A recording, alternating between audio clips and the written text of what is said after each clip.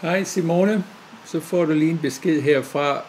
Jeg har kigget på det, du sendte mig vedrørende en ny computer og hvad du skulle købe. Øh, som du kan huske, så snakkede vi om Maxes, vi snakkede om en ny computer, og som jeg sagde til dig dengang, det var, at hvis du tager Maxes, det er en 17-tommer skærm, men det er en ældre computer, jeg tror det var 7000, 2007 eller 2008, den var købt i, så den er allerede syv år gammel cirka, og derfor også langsommere. Så derfor vil jeg måske gå ud og købe mig en ny, og det snakker vi om. Så er det spørgsmål, hvad skal jeg købe? Nu gik jeg ind og kigge her, du kan se på skærmen her. Jeg gik ind og kigge på, hvilke krav de har. Og der kan du se, at hvis du går ned, det der er vigtigst, det er selvfølgelig ikke kun, hvor hurtig den er. Det vil sige, at det er dual core, det vil sige, at det er en dual processor, hvis man kan sige det på den måde. Og at du har 8 giga megabyte, eller 8 gigabyte memory som minimum, og 16 som, jeg vil ikke sige maksimum, men mellem 8 og 16 gigabyte memory. Og det skal du huske på. Og der kan jeg huske, med den max, den har, den har kun 4 gigabyte, hvis jeg husker rigtigt. Så du skal ud og have 4 mere, hvis man tog maxes. Men hvis du kigger her, så 8 GB er minimum i memory. Du skal have en dual core processor, og så skal du have minimum 256 GB. Og det kommer maskinen med i dag. Jeg kan ikke finde nogen steder, hvor det siger, at det skal være en 17-tommer. Der står bare her, at den skal have en vis resolution, altså vis opløselighed. Og det er det eneste, de kigger på. De kigger ikke på, hvor stor skærmen skal være. Selvfølgelig, jo større skærm, jo bedre. Men det er sådan i dag, at det der engang var inden det der med, at man havde en 17-tommer skærm. Jeg sidder og laver den her video på en 17-tommer skærm. Det er blevet lavet om, fordi at en 17-tommer skærm, hvis man skal have en høj opløselighed, tager en forfærdelig masse strøm. Og når du taler om laptop, så en af de krav, den så har, det er noget med batteri. Ikke? Altså, hvor længe kan du køre med en laptop, når du nu har taget den ud fra stikkontakten, hvor længe kan du så køre med den. Så du skal kigge på, hvor hurtig er din computer, hvor meget huskommelse har den, hvor meget harddisk, altså hvor meget plads har den og gemme tingene på, og hvor stor er, eller hvor meget, hvor høj er resolutionen på din skærm. Det er det, man snakker om her. Nu snakker de så om Windows 7 og Windows 8. Jeg vil ikke sige, at Windows 7 er over, for det er det ikke. Fordi Windows 7 er nok den der er mest solgt, hvis man ser fra XP. Men grunden til, at folk er flyttet over på Windows 7, er, at man ikke længere supporterer XP. Men så snakker de om Windows 8, som aldrig rigtig blev populær. Og som vi snakkede om, så snakker vi om Windows 10, som så kommer ud her, enten i enden af det her år, altså 2015, eller i 2016, begyndelsen af 2016. De har allerede en beta derude for programmer, altså programmører, men, men det er så det, du skal kigge på, når det er. Så nu skal du se her, nu gik jeg så ind, og det, du ved, hvor jeg står henne vedrørende med computer, og hvilken en jeg vil købe. For jeg taler ud af, hvad jeg vil købe. Og så vil jeg inde og kigge på Mac, og Mac laver ikke længere 17 tommer skærm mere. Deres maksimale skærmstørrelse er 15, og det er det, de er på vej hen imod. Hvis jeg gik ind og kiggede på, hvad 2015 vil komme op med, altså nogle af de maskiner, som vi ikke har set på markedet nu, men som kommer op med, der er skærmstørrelsen 15 tommer. Og så er spørgsmålet, jamen 15 tommer eller 17 tommer? Der er næsten ikke ret meget forskel. Der er en forskel, of course, men, men ikke så meget. Jeg vil helst have, hvis det skulle være mig, jeg vil hellere have en 21 tommer, eller en 24 tommer, eller en 29 tommer. Meget hellere.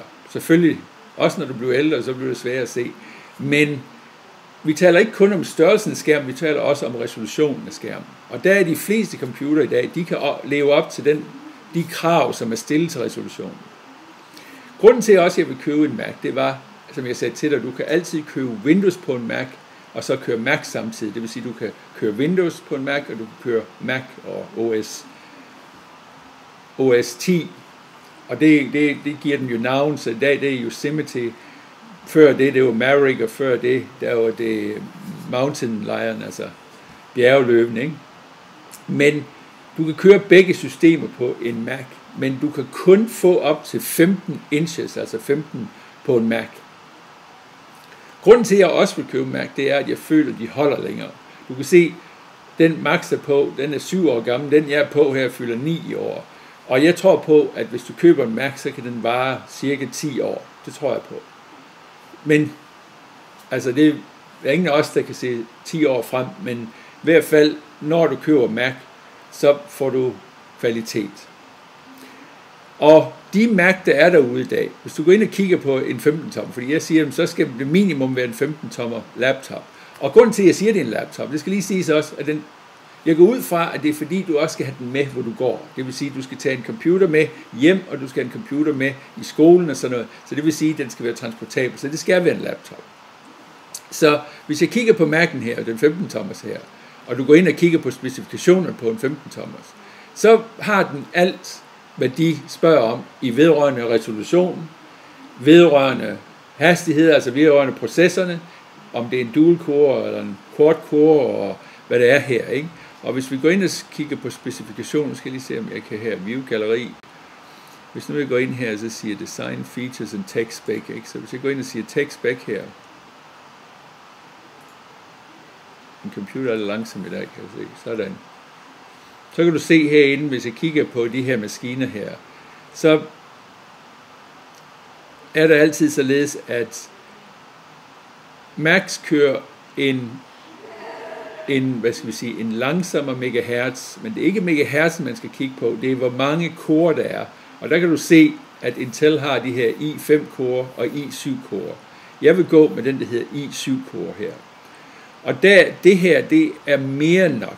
Du kan se, at den kan boostes op til 3,4 GHz, og det er det, de spørger om, en 3 GHz. Det har den. Og så også, at du skal gå ind og kigge på, hvad kommer den med i memory. Og de her 15-tommer Mac, dem kan du få op til e 8 til 16 gigabyte, så du kan få begge to. Men jo mere memory du køber, jo dyrere bliver de. Og du kan se her en basismaskine her, hvor du har, hvor du har, hvad hedder det, øh, hvor du har i hvert fald det minimale, som du skal bruge her. Du kan se, øh, jeg leder efter, hvor det står med meget memory, der er på den her. Men jeg mener, at den kommer, her kommer det. Der kan du se her, den kom med 256 som den mindste udgave, 2 eller 512 i harddisk. Og så er det det, det der hedder SSD-drev. Og en SSD-drev, det er hurtigere. Hvis du vil have en hurtigere maskine, så skal du i stedet for at købe en normal harddisk, så skal du have det, der hedder en SSD harddisk. Den virker ligesom et flash, og det vil sige, at der er ingen bevægelige dele, det er det, der gør det hurtigt. Og så kan du se her, at begge to kommer med minimum 16 gigabyte og memory, så du lever op til det krav, som de har, for hvis vi går bag, tilbage til det stykke papir, jeg fik her, eller den specifikationscelle, jeg fik her, så stod det her, at den skulle være mellem 8 og 16, og du skulle have minimum 256 GB i harddisk. Og der kan du se her, med de to her, hvis du køber den lidt billigere version, så kan du få 256, som de siger. Du kan 256 få... GB SSD. Nej, du kan godt se, nu begynder den at tale. Øh, men du kan se her, 256 GB her, og hvis jeg går nedad, så har den alt det, der bliver bedt om. Og du kan også se, at den har det, der hedder en, en GeForce øh, med 2 GB og memory på dit grafikkort. Og det vil sige, at den resolution, der kører på, på det grafiske kort, er mere end nok. Og du kan se her, hvis du går ind og ser, så kan du helt, du kan se, hvor høj resolutionen er hernede. Og det er 4096 til 2160. Og hvis du går tilbage her til specifikationen, så vil du se hernede 1920. Så vil du se, at du er langt over. Så når vi snakker om størrelsen af skærmen, 17 tommer eller 15 tommer, så er det ikke resolutionen. Resolutionen, der kan du have, selv på en 13 tommer, kan du have en meget høj resolution. Det er mere vedrørende, der bruger det, hvor meget surface, altså hvor stort overflade vil du have, og hvor stort skal billedet være. Ikke? Men det er Mac'en. Så tænkte jeg, okay, hvis nu du ikke kan nøjes med en 15-tommer skærm, så er Mac'en jo allerede udelukket. Så er der jo egentlig kun Windows. Så jeg gik ind og kiggede på Windows-maskiner her. Og øh, der kan du se her, at de forudser, at nu når vi får øh, når vi nu går ind til 2015, de nye maskiner, der kommer ud, har maksimalt 15 tommer skærme. Og så kører de med nye processorer, men de har op til den resolution, der er brugt, eller du skal bruge som minimum i din, i din klasser. Det har de her maskiner. Men når vi kommer til batteriliv, her batteriliv vil blive længere på de nye maskiner, men maskinen vil så også blive lidt langsommere. Og det er jo det, man bytter ved, at man siger, jamen altså, jo større skærm, jo hurtigere maskinen, jo mere batteriliv skal det have. Så det vil sige, at hvis det, batteriet kun skal vare halvanden time til to timer, okay, så køb altså en maskine med en stor overflade, altså en stor skærm, med, med en hurtig processor. Men når du gør det, så skal du også tage med i, at så bruger du mere batteri. Ikke? Så gik jeg ind og sagde, jamen hvad så, hvis vi går ind og kigger på laptops, hvor, hvad hedder det, hvor vi går ind og kigger på, hvilken en har den største, hvad skal vi sige, forbruger satisfaction, det er Mac'en, så det ved du allerede. Men når vi så går længere ned, så kan du se her, det bedste batteriliv, det er IBM. Lenovo er IBM, og de har det bedste batteritid. Du kan se, her, den kan helt op til 18 timer på et batteri. Men jeg går ud fra, når du går i skole, at du kan sætte den til en stikkontakt. Så det er ikke det, jeg er så meget bange for. Hvis så vi går ned, længere nedad, og så vi går ned og kigger på grafik og hurtighed, så en game computer, altså den man spiller spil på, er pissegod grafisk. Det skal den jo være, ellers kan du ikke få spillet til at se godt ud. Og så kan du se her, der er den, der hedder Alienware 17 tommer, ikke? som er en af de bedste. Det er 1499 dollar, og Dell er bag ved den. Ikke? Og den er 17 tommer, og det er nok den hurtigste. Men i forbindelse med batteri, ja, der er ikke så. Så har vi det, der hedder det bedste Windows Laptop Ultrabook. Det vil sige, men der kan du se, det er 13 tommer og 11 tommer, og sådan fremdeles, når vi går videre, ikke? Hvor vi går ind og kigger på dem, og så bliver de mindre og mindre skærmvis. Altså det, jeg siger til dig, det der gang var 17 tommer, det er blevet til 15 tommer. Og hvis du går ind og måler, så er der altså ikke stor forskel på en 15 tommer og en 17 tommer. Vil jeg hellere have en større skærm? Ja, fandme, jeg vil hellere have en, en, en 21 tommer, 24 tommer, 29 tommer.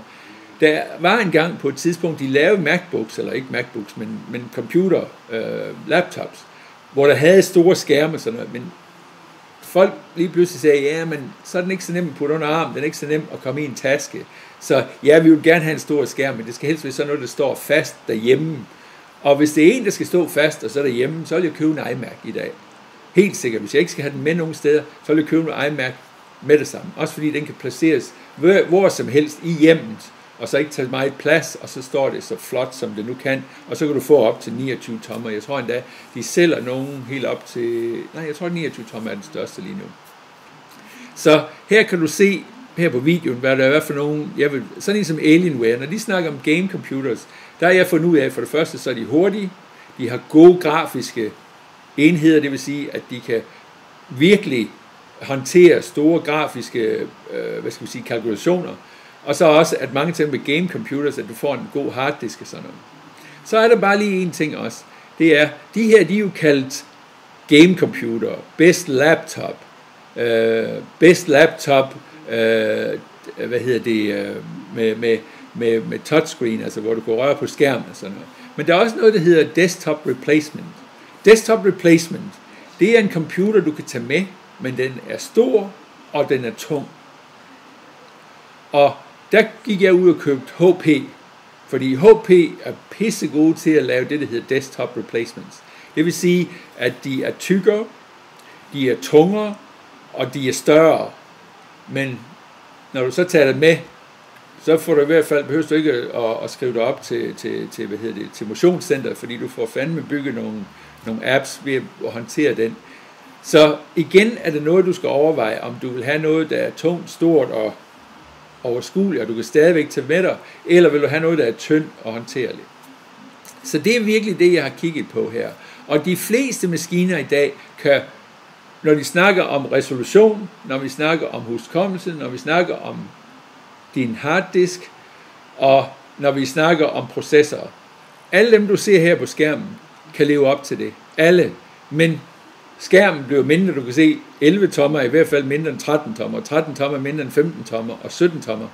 Men man laver ikke mange af 17 tommer, og hvis du går ind og kigger på det, der kommer ud nu her næste år, eller det her år, 2015, vi er jo allerede inde i det, så kan du se her, at det bliver ultratynde Mac, altså laptops, altså ultratynde laptops, Men når du går ind og kigger på, hvor store skærmene bliver, så bliver de 13 til 15 tommer, og ikke 17 tommer.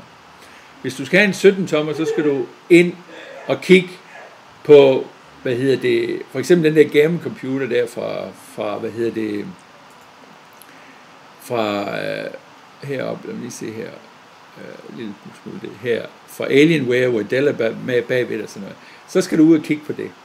Så det er noget, du skal gøre op med dig selv. Men som jeg siger til dig, hvis du kan leve med en 15 tommer, så vil jeg købe en MacBook et Heartbeat. Og som jeg siger til der kan vi køre begge ting, Mac og hvad hedder det, uh, Windows. Og når du nu er færdig med skolen, så kan man altid gøre det til en ren Mac-maskine igen, eller du kan altid gøre det til en ren Windows-maskine. Men når du har købt en Windows-maskine, så kan du kun køre et operativsystem på, og det er Windows. Ja, du kan også køre, hvad hedder Linux og sådan noget, men, men den er ment til Windows, men du kan ikke køre Mac.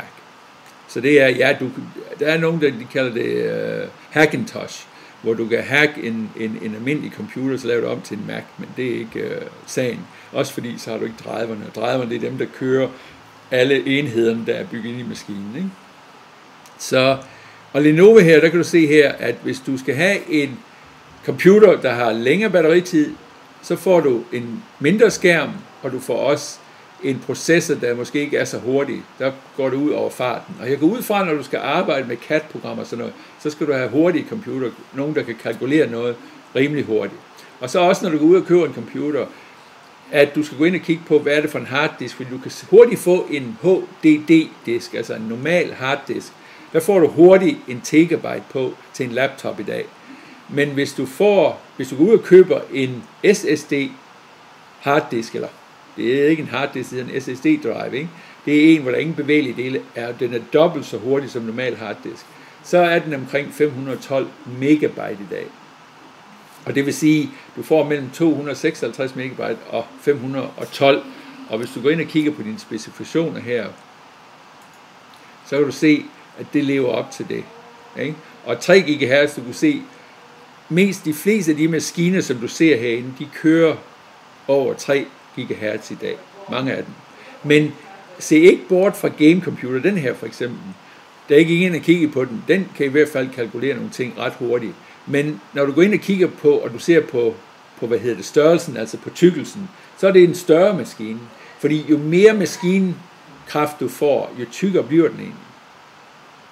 Og Intel kommer, kommer nu ud med en ny processor, og der prøver de at lave det, der hedder et balance, øh, hvad skal vi sige, et balance øhm, øh, specifikation, hvor de siger, jamen altså, vi skal have så meget ud af batteriet som muligt, og så skal maskinen være så hurtig, som vi nu kan, hvor vi stadigvæk bibeholder batteritiden. Fordi at folk vil gerne have en laptop, hvor du ikke skal hele tiden sidde og have den hugget op til stikkontakten. Hvis du går ind og kigger på mærken her, ikke, så kan du se, at de kører op til, jeg mener det er 6-8 timer, og der siger jeg altid, tag det mindste tal i hvert fald. De har 6-8 timer batteriliv, hvor du kan se herinde på den herinde, at den vil give dig op til, til hvad hedder det, 18 timer her på Lenovo heroppe.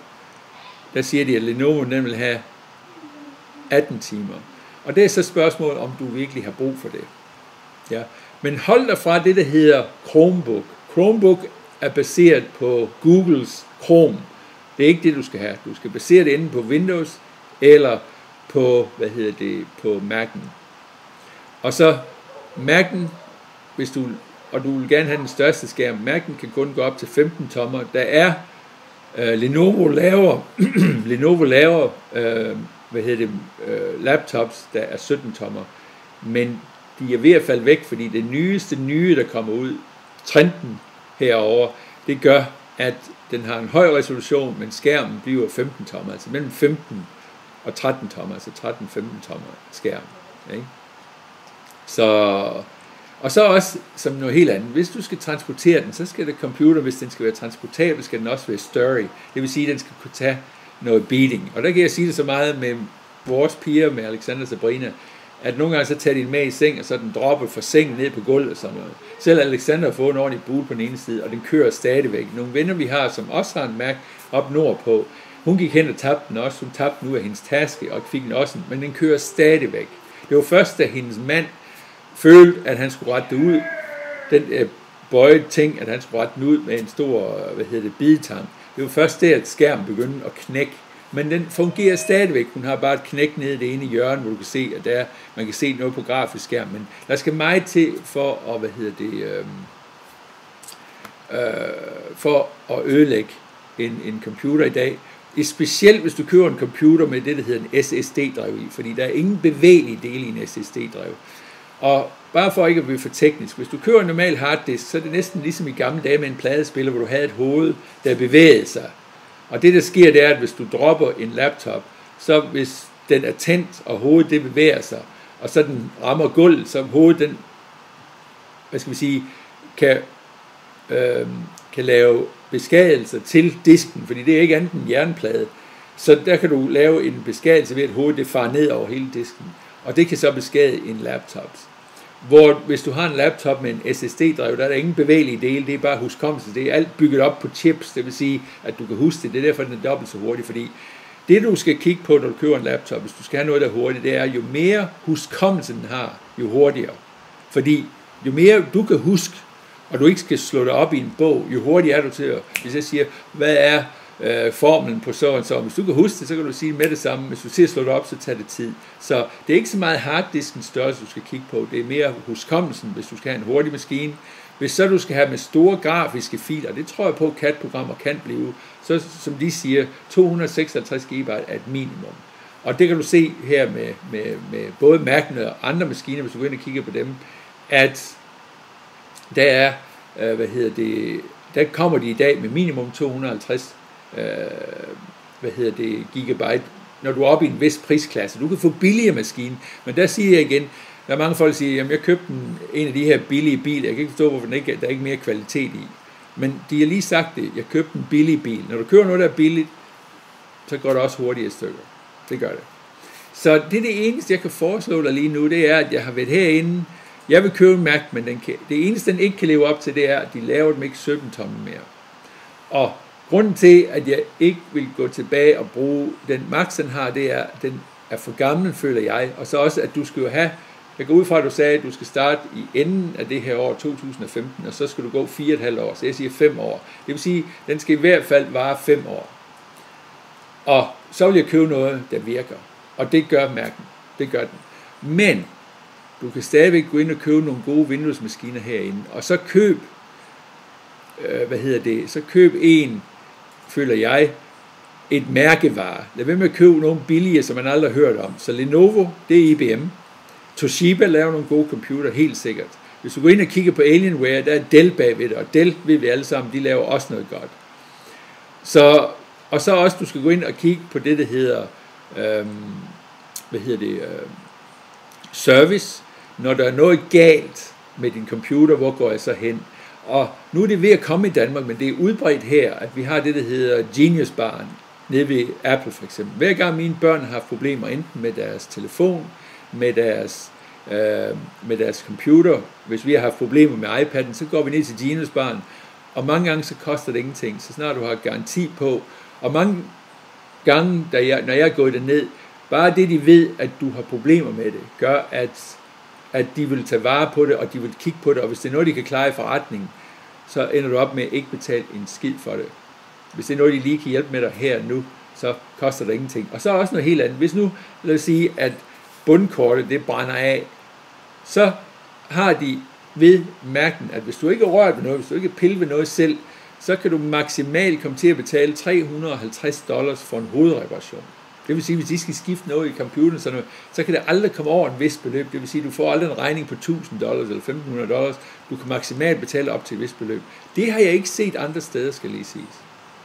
Du kan godt se, at jeg er allerede blevet brainwashed ved Mac, men det er fordi, at kvalitet for mig, og så også noget, der virker, og der var længere. Også fordi i dag, der bliver det bredt ud, således at i dag, der vil folk gerne have det bygget, eller lavet således, at de har en laptop, som så kan samle alt, hvad du har, så har de måske en iPad, så de kan læse, øh, hvad hedder det, læse øh, øh, ugeblade eller avis eller sådan noget, uden at skal have laptopen op, og der ved vi jo, at iPad'en den går jo helt op til 10 timer. Og så telefon, hvis det er, at du ikke kan bringe enten telefonen i din laptop, så tager du telefon med. Og grunden til, at jeg godt kan lide Apple, det er, at du har alt det i et.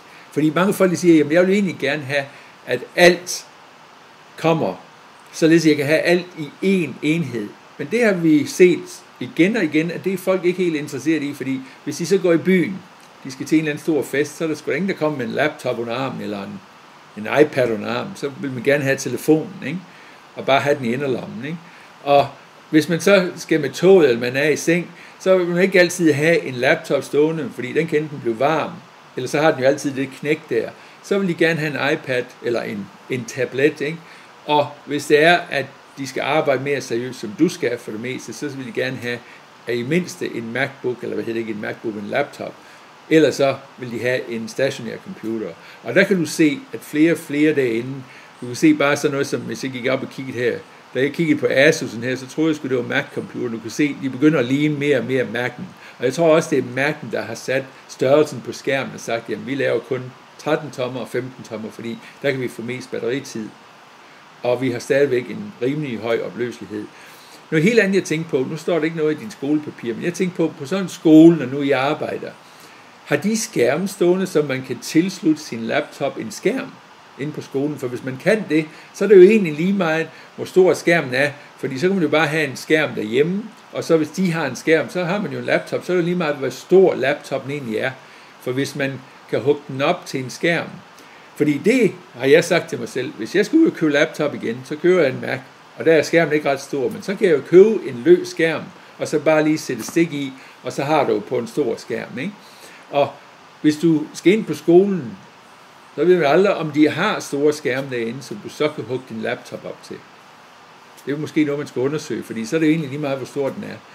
Fordi at det her med at have store laptops, som jeg sagde til dig, det hedder øh, desktop replacements, det er ikke altid øh, nemt at have med. Du kan tage den med dig, men de er tunge. Det vil sige, du behøver ikke at have et, et, et medlemskab til, til, til motionscenter, fordi du får stadig bygget din, din, din apps. Ikke? Det er alt, jeg har at sige om det her. Det er op til dig, og jeg kan ikke sige, hvilken en helt nøjagtig jeg vil købe, fordi nu vil jeg gå ind, hvis jeg var dig, du har nogle, nogle choices her i hvert fald, du har nogle numre her, og dem vil jeg ikke sidde og skrive ned til, du kan se Dell XP13, du kan se Asus og sådan noget. Men hvis du går ind og kigger på det, der er det, der hedder game laptops, der er det, der hedder, hvad hedder det, Chrome laptops, stay away from them, Chrome, også Linux, stay away from them, Jeg vil kigge enten på det, der hedder Apple, eller jeg vil kigge på det, der hedder Windows, og så vil jeg, når det kommer så til laptops, og jeg har råd til det, det er kun fordi, jeg ved ikke, hvordan din økonomi er, men hvis jeg har råd til det, så vil jeg maksimere, altså max, max computeren ud, købe så meget som muligt i den laptop, så jeg ikke skal ud og til at tage den fra hinanden, fordi jeg skal til at bygge mere på, så vil jeg hellere gå ud og sige, at jeg vil hellere betale det ekstra nu, fordi at hvis nu jeg køber en laptop med 6, 60, altså 16 GB i, så vil den i hvert fald de næste 5 år, og jeg tror på helt op til 10 år, før at du skal ud og købe en ny igen. Så det er en investering. Og så også, som jeg har sagt til dig før, jeg mener, vi har snakket om det, det er, når du køber Apple, så meget af det fundamentale software, du skal bruge, så som, som tekstbehandler, det får du for frit. Du får det, der hedder iWorks, iLife, og du får operativsystemet for frit gennem årene. Det vil sige, at allerede der sparer du penge. Så det kan godt være, at hardware det er dyrere, men du sparer over længere tid, der sparer du de penge. Fordi at jeg kunne se her, at diskussionen er, hvad skal det nye operativsystem Windows 10 koste, og hvem kan få det for frit. Og der ved jeg, og det tror jeg på, at dem, der har Windows 7, de skal betale. De skal betale et eller andet beløb øh, her 78 dollars, så det svarer cirka til en 400-500 kroner i hvert fald. Og hvis du har et senere operativsystem, så skal du betale endnu mere, og hvis du kommer fra Windows 8.1, så får du måske for frit. Jeg tror ikke på det, men lad os håbe. Og så også husk på, at det kan godt være, at de sænker prisen på 10, men så snart de har fået låst nogle kunder inden, så bliver de ved, fordi Microsoft tjener ikke penge på hardware, de tjener det mest på deres software. Det er derfor, software er så dyrt, når vi kommer til Microsoft. Hvor når vi kigger på Apple, der tjener de de fleste penge på deres hardware. Det er derfor, de kan give deres software for frit. Og også, du kan se nu her, hvor Google snakker om Og de har jo lanceret det, der hedder Chromebook, at når de kommer videre hen, så fordi de laver deres egen, altså de laver en masse på hardware også, med deres briller og alt sådan noget, at de kunne give noget af det for frit. Og det har de jo egentlig gjort. Det er jo dem, der egentlig har slået Microsoft i deres eget spil ved, at de giver en masse for frit. Men det er i hvert fald der, jeg vil kigge, og her har du i hvert fald nogle ting, du kan kigge på her. Gå ind til det, der hedder CNET. CNET.com. Og derinde, der kan du gå ind derfra og finde ud af, hvad der egentlig er ude på markedet, ude, hvilken der er det sidste nye, og som jeg sagde til dig, jeg gik ind og sagde, at jeg vil se 2015, det er det år, vi kommer ind i, og det er ikke alle, der er ude nu, men der kan du se her, Dell kommer ud med en, der har en i7, det er den samme, som Mac'en har, den har 3,1 GHz, samme som Mac'en har, og sådan fremdeles, du kan se, mere og mere gå i retning af Mac'en. Det er Mac'en, jeg siger som altid, Mac'en er fem år foran alle de andre. Men igen, det kommer an på, som jeg siger til dig, det eneste mærken ikke kan leve op til, det er størrelsen af skærmen. Og hvis du skal have en større skærm, jamen så kan du ikke have Mac, så skal du ud og købe en Windows-maskine. Men hvis du skal ud og have noget, der virkelig er stort, virkelig er hurtigt, så skal du have det, der hedder en desktop replacement.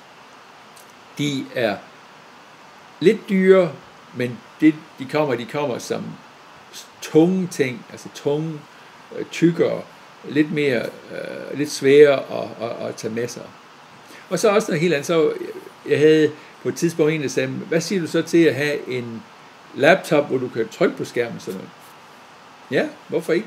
Men jeg ved ikke, om de CAD-programmer, I skal bruge, vil have noget med at trykke på skærmen og håndtere skærmen via finger, altså via, via, via, via, via, via fingerbevægelser, altså touch screen og sådan noget. Så det ved jeg altså ikke. Men jeg håber, det har givet dig en lille bitte overblik over, hvad du skal købe. Øh, og i hvert fald en idé om, i hvilken retning du skal gå. Og det kommer, som sagt, jeg har sagt til dig før, det kommer også ned til, hvad har man råd til. Men hvis jeg skulle gå ud og købe det, og jeg skal i skole, så vil jeg, jeg vil, jeg vil gå ud og så købe kvalitet, så vil jeg gå ud og max den computer ud, jeg vil få, den vil jeg max ud. Og hvis du så siger, der er nogen, der siger, at jeg, jeg, har, jeg kan kun bruge 400 dollars, jamen så får du en 400 dollar computer, og forvent ikke, at den varer evigt. Den kan måske vare de fire år, du skal bruge den, og fire og et halvt år, eller fem år, du skal bruge den. Men som du også ser hernede af, hvis du ser på priser, priserne de kommer længere og længere, altså tættere og tættere på mærken virkelig. I, I det du går ind og kigger på, du kan se her, du køber en for 7 800 dollars, men du kan sandelig også købe en for 2300 dollars, hvis du vil have noget, der er endnu hurtigere, for eksempel. Ikke? Så, og hvis du går ind og kigger på MacBooken her, jamen, så er vi egentlig i den samme boldgade. Du kan se her, du kan starte hernede med 2.000 dollars op til 2.400 dollars. Ikke? Men det er fordi, at det er Retina. Det er fordi, den har den største opløselighed. Du kan se, den slår, den går i hvert fald du kan se her ved IPS-teknologi display, ikke? 2880, og hvis vi går ind og kigger på din, så kan du se herinde, at den skal kun være 1680. 1680 by 1050 resolution, 32 bit hernede color den with større 1 hernede med 1920, 1920 by ikke? Der slår den 1200 her. resolution, 32 bit color with 1 gigabyte det, du skal memory. ikke? Og du kan også Capable of DX11, Shader 3.0, Direct 3D and OpenGL 2.0 er or higher. Men var der noget ellers, jeg ville sige til dig vedrørende det her? Jeg gik ind og læste noget også her i forbindelse med, øh, hvor var det, den her ultratynde, ja. Altså, altså det bliver tyndere. De prøver at, at, at gå efter Mac, fordi at det mærken er berømt for, det er, at den er tynd. Ah, det skal lige sige, hvis nu du går hen og vil købe en Mac, der er jo andre end en MacBook, der er også det, der hedder en MacBook Air. Det eneste, øh, jeg har imod MacBook Air'en, for det første så MacBook går kun op til 13 tommer. Men for det andet, så føler jeg, at MacBook Air er lækkert. Men jeg vil nok ikke have det som en skolecomputer, fordi for det første, den er meget tynd. Hvis du nogensinde kommer til at sætte dig på den, så kan den gå hen og knække. Du kan virkelig gå hen og gøre noget damage, hvis du lægger noget tungt på sådan en maskine, fordi den er så tynd. Den er robust, men det er noget, øh, ja, det er noget, der er lidt, lidt skrøbeligt, så det vil jeg i hvert fald ikke gøre. Så jeg vil nok holde mig fra det, der hedder MacBooks, eller slutter Macbook Air, men det, der hedder Macbook Pro, ja. Men igen, den er ikke større end 15 tommer. Så ellers så vil jeg gå over og kigge på den, de, dem her, og jeg har en liste herovre, ikke? Best Laptop 2015. Der kan du se igen, forbruger satisfaction, altså forbruger, dem der er satisfaction, den har næsten 90% bruger, øh, hvad hedder det, satisfaction end, end Apple. De andre har mindre. Men det skal dog siges, at, at Dell har rimelig gode øh, maskiner. Det samme har Lenovo, og de har en god kundeservice. Og det er også det, du skal kigge på, hvis der sker et eller andet med den. Hvordan er kundeservicen så? Men jeg håber, det her det vil hjælpe dig. Hvis ikke, så ringer du bare til mig. Kan du have en rigtig god dag, og kan du hilse omkring dig. Hej.